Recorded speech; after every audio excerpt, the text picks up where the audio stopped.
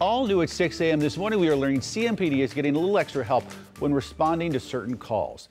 CMPD officers will now be joined by registered clinicians to help people with mental illness or substance abuse.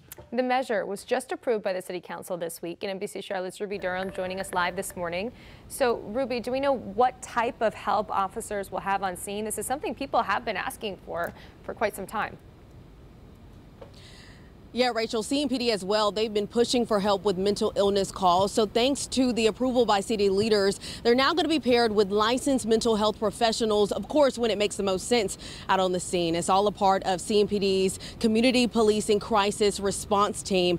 According to city leaders, CMPD will have a contract with the Matrix Mental Health Alliance in Charlotte, where they will assign officers licensed clinicians to respond to emergency calls that deal with people suffering from behavioral health issues or substance abuse disorders.